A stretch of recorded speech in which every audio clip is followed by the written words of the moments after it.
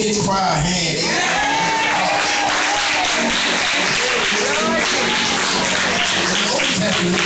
In the Old Testament, often often the praisers and the choirs and the singers and the musicians worked harder than the soldiers. Amen. They went forth to God and began to lay the work. And see, Israel was a was a people led by the Spirit of God. So whatever they could do in the physical, it was only enhanced by the supernatural power of God.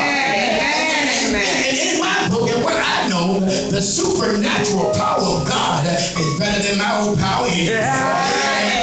So when you walk in the Spirit, talk in the Spirit, live in the Spirit,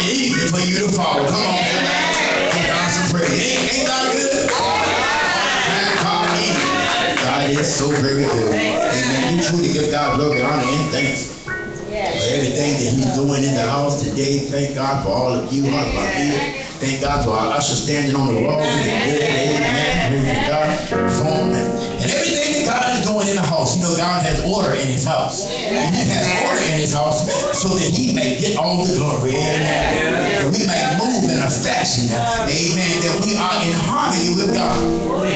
And boy, being on being on point and on key with God leads you to some great opportunities with God. Come on. Oh, you burdens, you your souls saved, you healings and miracles. Being on point with God. Anybody know that today? Amen. Praise the Lord. How many of y'all know that is word? Yes. That is a word today. Amen. We're going to endeavor not to be for you very long. Amen. We're going to come today uh, lifting up the word of God from the book of Exodus. Then ask you to turn in your Bible or on your device. Exodus chapter 14. When you found it, keep it open. Amen. But this text really is from verses 1 to 31. Amen. But I can't read all that to you. Amen. I'm not going to preach it verse by verse, but I got an idea for you today. I got a concept for you today. It's a surprise. Because I didn't even have it by the time they went to print. I didn't even have it by the time he put the bulletin up. I'm sorry, the um, the board up outside. I got this word late, late in the week. Amen. I thank God for that. He's always right on time. Amen. Exodus chapter 14. We can, we can bring our initial attention to verses 1 through 4. Amen. I am I am so pleased with what God is doing in this place today. Amen. We get home and just brag to all my preacher friends about what a, what a great church I serve. Amen. Amen. God is good. Exodus chapter 14. When you found it, please say amen. amen. Start at the first verse and you read as follows. And the Lord spake unto Moses, saying, Speak unto the children of Israel that they turn and encamp before Pi Haroth and between Migdol, the sea, over against Baal Zephon, before I shall be encamped by the sea. For Pharaoh will say of the children of Israel that they are entangled in the land, the wilderness has shut them in.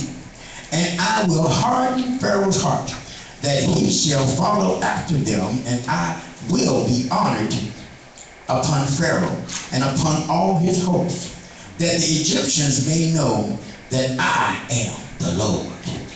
And they did so. Amen. May the Lord add a blessing to the reading of his holy word sanctified in our hearts and make it good for our soul. Let us pray. Dear Heavenly Father, we thank you, God, right now for you, God, and everything that you're doing, God. I thank you, God, that you are showing yourself mighty and marvelous and wonderful in our sight. God, you are doing some things in this place, God. You are opening hearts and minds, freeing, freeing people, God, freeing spirits, God, bolstering, God. You are strengthening us, God. You are healing us, God. You are doing mighty, marvelous things in our midst, God, all because the praise is going up and the blessings are coming down. God, I thank you for that. God, we're so ever careful to praise you for everything you do, God. But we also want to praise you and thank you, God, right now because, God, you have to preaching time, proclamation time. Oh, the gospel is about to be preached. We thank God for the opportunity. Now, God, we pray that you send the type of anointing that makes preaching easy. God, we pray that you set the type of anointing that makes hearing your word easy. God, we pray that you set the type of anointing that makes doing your word real, real, real, real easy. And now, God, as you us down deep into the well of anointing, bring us up dripping wet that we might be able to put your word bring something to the people that they can feel, see, and know. And God, what your power, with us in your power, partner with us in the covering of your covenant. Cover us with your precious blood of Jesus, that the devil may know who we are and who not mess with. In Jesus' name we do pray. And let the church say amen. Amen. Amen. Today for our time together in the Word of God, want to continue in the sermonic series uh, titled Miracles in Your Wilderness. Amen. With today's offering, amen, uh, um, entitled In the Right Place for Your Miracle. Amen. You know, we've been dealing with the wilderness experience, amen, of the children of Israel. We have determined and, and we have said that the wilderness, the wilderness, is not an inviting place. It's a place often of hardship, struggles, amen. It's struggles there. It's, it's hard fought victories there. It's, it's uncomfortable there. It's dry and barren. But sometimes the Lord will lead us into a wilderness experience. Last week we preached about guidance for the godly in, in the wilderness. This week that word is put to the test in the lives of the children of Israel in this, in this scripture offering. And just as importantly, I pray that this word is validated even in our own lives. Church, uh, there is a right way and a wrong way to go about seeking your miracle from God. Amen. The wrong way involves selfishness, disobedience, uh, and a lack of trust um, in the way, the will, and the word of God. And yes, actions do speak louder than words. Amen. The right way to seek the Lord for a miracle is in faith, is in trust and desire, and righteous desire, and obedience to the word of God. The right way of seeking your miracle leads to being in the right place for your miracle. Amen. The right place for your miracle is just as much a matter of your location as it is your motivation and your inclination. Amen. Your location must be dictated by the will of God. Your motivation must be to bring glory to the kingdom of God. And your inclination and your mindset, well, it ought to be in complete compliance with the Lord. Church, we got to realize that being in the right place for your miracle uh, is due to the orchestration uh, of God. Our job is only to be yielded vessels unto God uh, to reap the maximum benefits from the leading of God. Church, our yielding to God's leading results in being in the right frame of mind, not only to go get your blessing, but being in the right frame of mind to do it God's way, and to be able to accept the way that God is doing it. God said, My ways are not your ways, my ways are higher than your ways. Sometimes we don't understand God's way, but we just need to know we need to go God's way. Come on. Come on, somebody. There is a God ordered and a God ordained process to your miracle. Amen. And with every stage, with every step, not only is God working out your miracle for you, come on now. You know when you wake up in the morning, God got your miracle in mind. Amen. With every step, every stage, when you come to church, God has got your miracle in mind. When you come to Bible study, God got your miracle in mind. When you get up and go to work, God got your miracle in mind. And every step, every stage you find, you'll find that not only is God working on your miracle, but God is working on you too. Come on, So that we can be in the right place, uh, not only physically, not only mentally, but spiritually too. Come on. See, we got to understand that being in the right place for your miracle is important, even if that right place uh, just happens to be the wilderness. Amen. Everybody don't want to go to the wilderness. Amen. But sometimes that's the place uh, where you're going to reap the most blessing. Amen. Sometimes it's in the wilderness. Uh, you know, in the wilderness when the dry, water tastes extra sweet. Amen. In the wilderness, when you can't get the food you want, uh, even peanut butter and jelly tastes real good. Come on, somebody know. Somebody has some gummy cheese. Come on. I to come a sandwich without gummy cheese. I tell you, when I didn't have no cheese, gummy cheese was real good. Come on.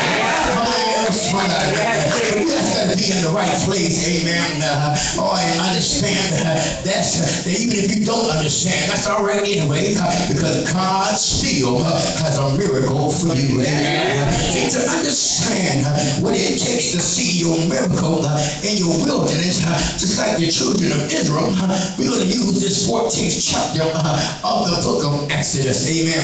And in this 14th chapter, I got three things the Lord is going to show us, uh, and then we're going to get out your way. Amen. I'm going to tell you, it takes God, it takes God in it to receive your miracle. It takes God in it to get you to the right place of your miracle. The first thing it takes for you to be right place for your miracle, uh, according to our text, is, uh, is God's planning. Amen. Uh, somebody say God's planning.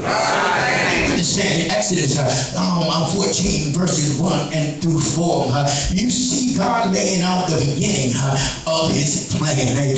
Uh, in Exodus 14 and 2, uh, God tells Moses to tell the people uh, some directions. Amen. Uh, he said, uh, encamp before uh, Paharath. Amen. You ain't got to worry about pronouncing it. That's my job. Between the place called uh, and over by the Red Sea, there's a place called Baal Zephon. And it said, make a camp by the sea. I want you to understand it was God's plan. And God, and God led the children of Israel to an edge of the wilderness. It was God that led the people into the wilderness. Somebody already said that don't make no sense. Amen. And it was at the edge of the wilderness, uh, they could have turned away uh, and avoided the Red Sea altogether. But it was God's plan, uh, instead of avoiding the Red Sea, uh, that the Lord God led them right down in front of the Red Sea. Uh, keep in mind, while they are in front of the Red Sea, uh, there are mountains on the left, and there are mountains, and, and there are 40 garrisons on the right. And they were in a little box, amen, and they couldn't go to the left, to the right, uh, or even forward, amen. But, but see, somebody needs to understand, uh, amen, you gotta trust God's plan. Uh, you, can't see the way out. Uh, let me tell you what God is doing. Uh, see, this is why God makes a plan, uh, because God knows the future better than you and me, amen. The Bible says that, that now we see in part and we know in part. But only when he that is perfect is come, shall we know even as we are known. Come on, Pastor, quote those scriptures, amen. I want you to understand that God is creating an atmosphere that will lead the people of Israel to trust Him, to build faith, and foster hope for future miracles. Come on, somebody need to know that God is getting you ready for a great day. God ain't just getting you ready for today. If God was worried about getting you ready for today only, well then He would have been done with you already. But this is the day that the Lord has made. But there is coming a day that you're going to need to lean on the Lord just a little bit longer. You're going to wait on the Lord just for a little bit further. You're going to have to take one more step. You're going to have to put one foot in front of the other and march to the door that the Lord is about to open for you. And God is creating an atmosphere for miracles. Amen. Believe me, in this wilderness journey. There will be many times when we need to call on the name of the Lord. So, God, I don't know how to preach all of it, but look, sometime already, I understand that you are in places uh, where you need heaven to come down to you. And you don't know how to call on it. You don't know how to reach him uh, because you ain't never been through nothing. Some of us have been too busy stuck in the wilderness. Uh, we don't want to follow the plan of the Lord. But I tell you that the Lord wants you to go into the wilderness you can know how to get out of the wilderness. Come on, come on, somebody. God God of faith. You need to know that in this life journey, you're to need the Lord to show up all the time. And I tell you that God is not a one-trick pony. Neither is he a one-hit wonder. Nor is he a flash in the wind. My God is the great God, the greatest force. There is no other power like his Holy Ghost power. And he can do for you what the power can do. I want you to understand, boy, don't make me preach too hard. Look, let me tell you, uh, you have to know uh, that there is no limit to what God can do. Sometimes in order uh, to trust God you, we just have to see Him working out for you. And trust me, the Lord knows that. The Lord understands that in order for you to know God, there's no limits. Sometimes He can take you beyond your limits amen, but there is no other choice but to be able to trust in God. Sometimes, spite of what you think, and even in spite of what you see, God has a plan for you to get to the right place uh, for your miracle. And I tell you, uh, I'm going to show you how wrong this place was uh, to the natural eye. No, no military tactician, no leader of people that had the responsibility of all these women and children to protect, and he had to protect them with men that did not know how to fight. He had to protect them with men that had the will to fight, systemically uh, all beaten out, out of their lives through bondage. He had to go and protect them with men that had no weapons, and they had to go up. They had to go up to a place. It was really an ambush waiting to happen. They got in, but there was no way out because look, little did they know that even though oh God, can I tell you something right now? While you shouting, while you shouting, while you running down the Highway, while you giving God the glory, while you throwing for your head, while you been running for Jesus, and been running for a long time, even though you ain't tired yet, the devil is hard to trail. They were still yet holding on, while they were still yet praising, the devil was right behind them. Don't worry, because God had a plan. They didn't see the enemy coming. They couldn't have known that the enemy was coming. But, God didn't know that I'm leading you to the right place, to the right place for your miracle. Come on, somebody. You gotta get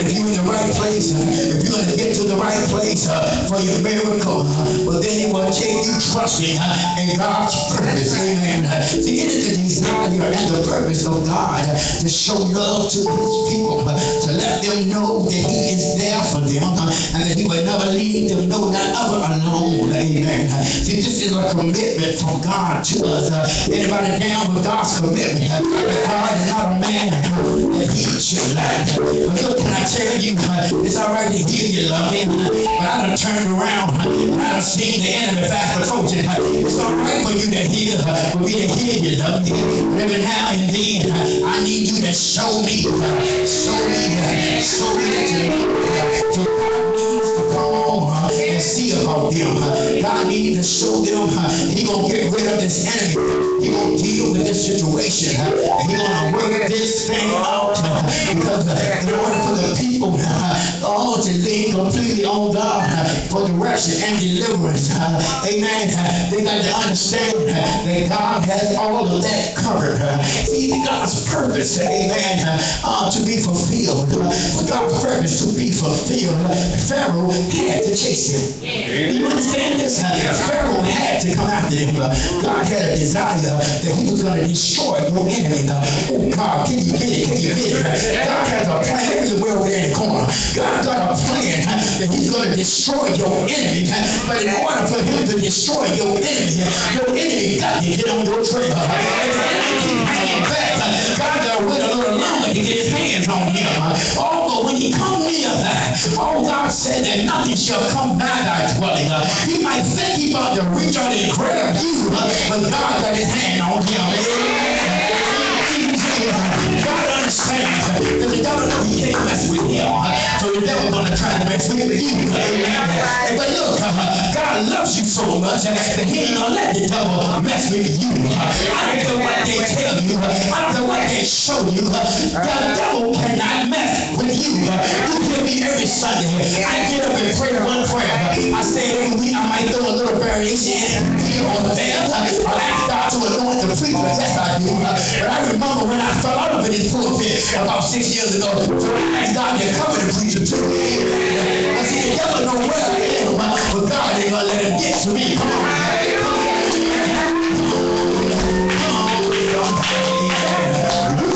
Understand? uh, See, the, the enemy think uh, that he got you right where he wants you. uh, But God, when he leading you to the right place for your miracle, God got you right where he needs you. Amen. And the children of Israel were in the right place for them for their miracle. Uh, Look, Pharaoh got a word. Pharaoh, when you, you know the devil said a word too. Pharaoh got a word. He said the word came and said that the children of Israel are entangled in the wilderness. God led them there, and now they're trapped. Let me prepare my 600 chariots and get my choicest men, and I'm going to ride hard after them. And look, they went after the people of God, and they sure enough caught them. But let me put this in perspective to you. The children of Israel are walking about, going about praising the Lord, and they see that the chariots are coming. They ain't hardly been free a week. Amen. Imagine that. Not even hardly being free a whole week. And your, and your captor, uh, your, people that held you bondage are hot on your trail. Church, sometimes, amen, even in the midst of our praise, uh, we are not focused on what the enemy is doing.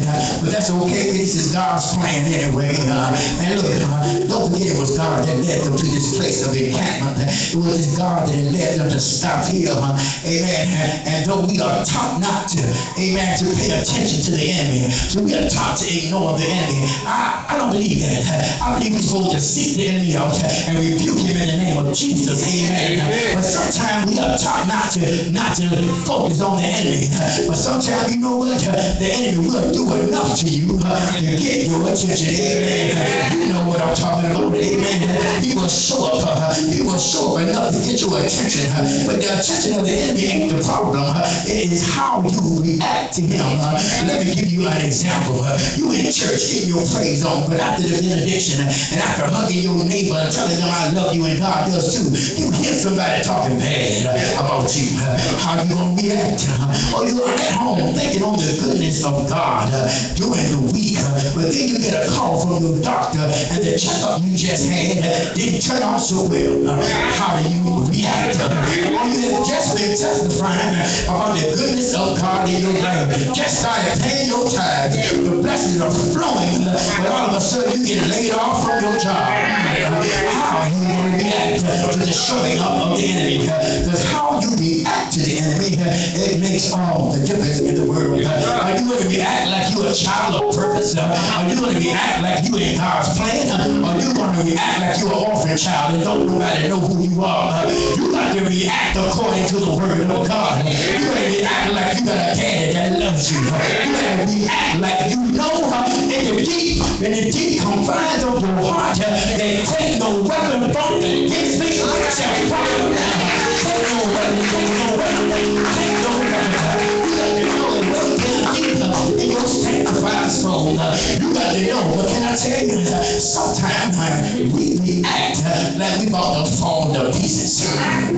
That's what the children of Israel did, uh, even though they knew God had a purpose for them. They about to fell to pieces. They began to cry and whine they complain. They talked about God. They talked about Moses. Why did you bring us here to die in the wilderness? Didn't we tell you? Did we did, did we tell you then to leave us alone? We didn't want to go nowhere. We rather had died slaves than die in the wilderness. But I want you to understand. I want you to understand the God that we love understands our struggle. He understands when we are when our minds are so messed up that we can't receive our miracle. That's why every step we take, God is orchestrating you to grow, grow, grow.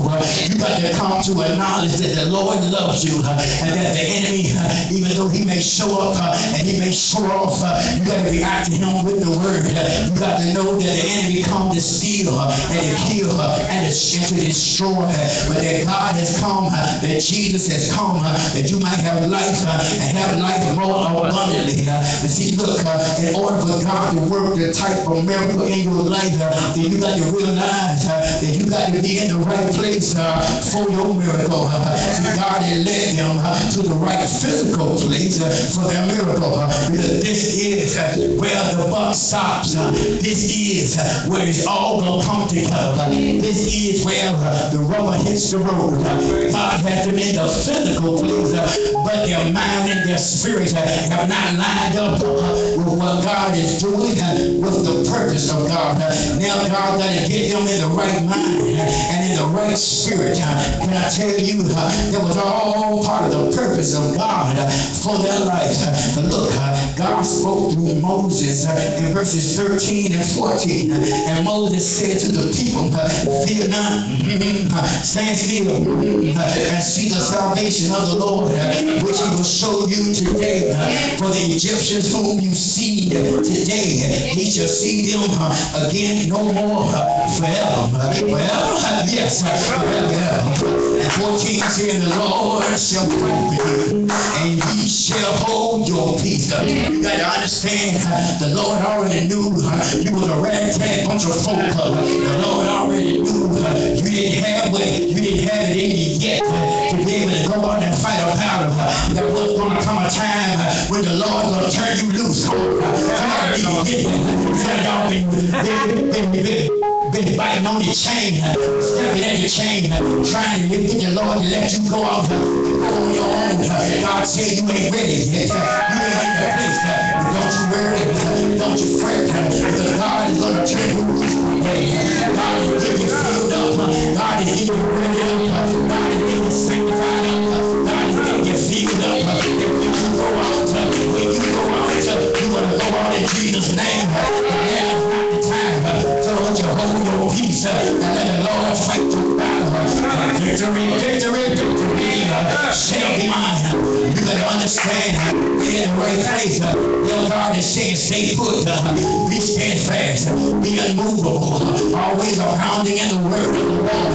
I want you to understand, when God said, sit still, he ain't talking about sit down and free. We ain't playing tag. God is talking about resting in me. You got to learn to be in the right place for your miracle. You got to learn how to rest in the Lord. Have it rest in the Lord. I don't mean laying down doing nothing, but I mean energizing and recharging, getting revitalized. Amen. Being, being lifted up to where you belong. When you learn to stop and trust in the Lord, and I tell you, uh, you are in a place uh, where you can see your miracle. Anybody want to be in a place uh, where you can see your miracle? You can see the horizon. You are you, when you get to a place where you look and you don't see a way out to the left, and you don't see a way out to the right, you don't see a way out to the front, and the enemy hard behind you. You need to know that God is getting ready to bless you. Trouble. And look, uh, that me to my last point. When you uh, are in the right place for your miracle, it's going to take the divine providence of God to see you through, um, to be in the right place. Y'all better listen good to this one, I'm going to throw you for a loop. To be in the right place for your miracle, it not only takes God leading you to the right place, physically, mentally, and spiritually, it also takes the divine providence of God to put together the right provisions from God uh, to make your miracle come to pass. Let's take an inventory. You mind taking inventory with me we look at, uh, at what God has put into place uh, for the miracle uh, for the children of Israel. And we don't want to leave anything out. You got God. Even in our inventory, you got the presence of the Lord the form of the cloud, the fire by night. You got Moses leading the people. You got the rod of Moses. You got the people. Uh, you got your faith. Uh, you got your trust. Uh, and you got God's love. Uh, that sound like the recipe for a miracle. Right? Well, uh, it gonna take more than that. Uh, but if you got all that going, uh, the only thing happening in your life, you don't need a miracle, you walk in divine faith. Watch this. Uh, you might need a miracle uh, the other stuff that God has put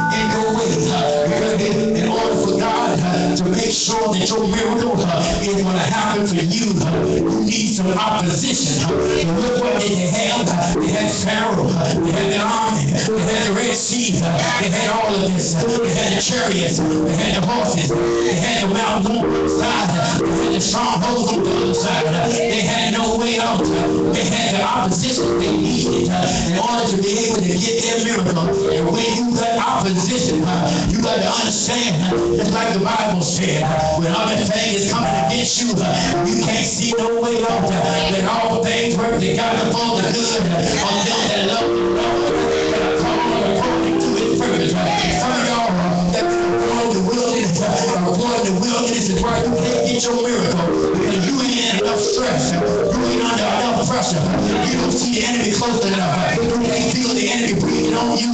You ain't under enough pressure to deserve tell you, when you begin to face opposition, can I tell you, God is going to come through in your life. You don't believe me? You don't believe me? You better understand. You can ask Joseph, amen.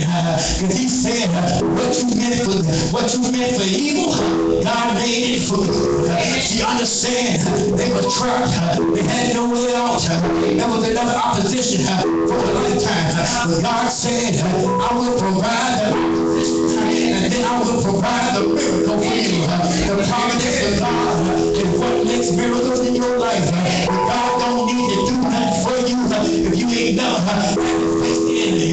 If you in the midst of your situation, if you in the midst of your wilderness, I'm gonna tell you right now, you in the right place for a miracle. If you believe me today, you in the right place for a miracle. You in the right place for a miracle. You need opposition. You can ask. You can Jacob. Jacob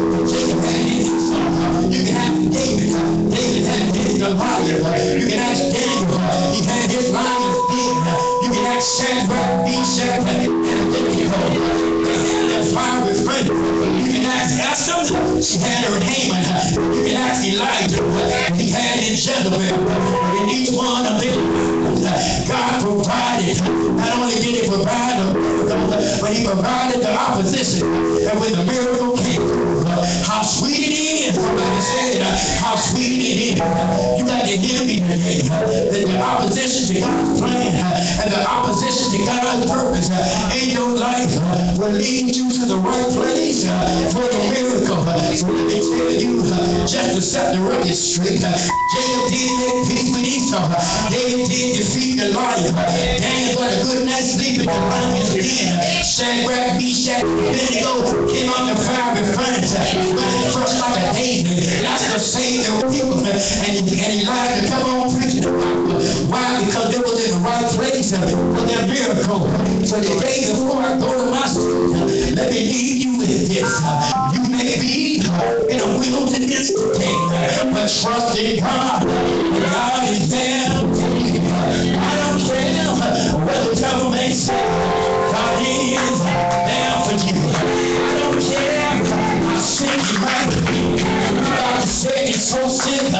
you never get well. The Lord is for you. I don't care what the prognosis is. I don't care if they give you weak.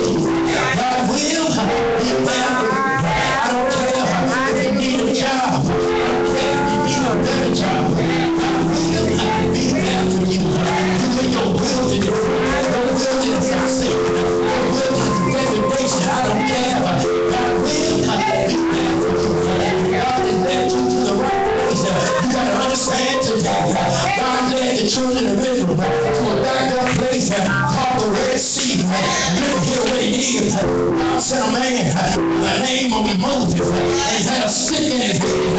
And he held that stick out. And the Lord began to blow the wind back on him. The Lord began to blow the wind.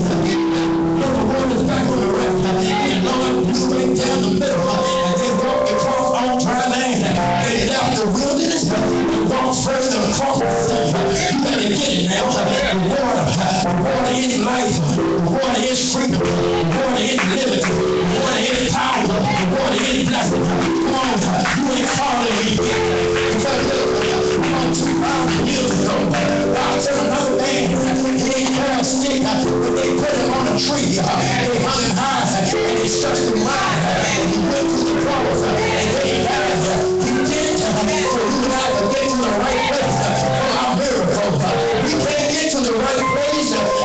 We get to the cross. Remember that the cross, Lord was at the cross, where I first